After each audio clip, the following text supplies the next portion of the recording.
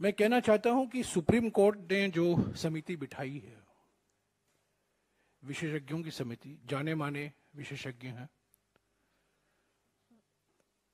ये समिति अडानी केंद्रित समिति है। ये अडानी से सवाल पूछेंगे। हम जो सवाल कर रहे हैं, अडानी से नहीं कर रहे हैं, हम प्रधानमंत्री जी से कर रहे हैं, सरकार से कर रहे हैं। ये सवाल सुप्रीम कोर्ट की समिति द्वारा नहीं किया जा सकता। वो सोचेंगे भी नहीं, उनको हिम्मत भी नहीं होगी इन सवालों पर विचार करने के लिए। ये सिर्फ़ जेपीसी में ही उठाया जा सकता है।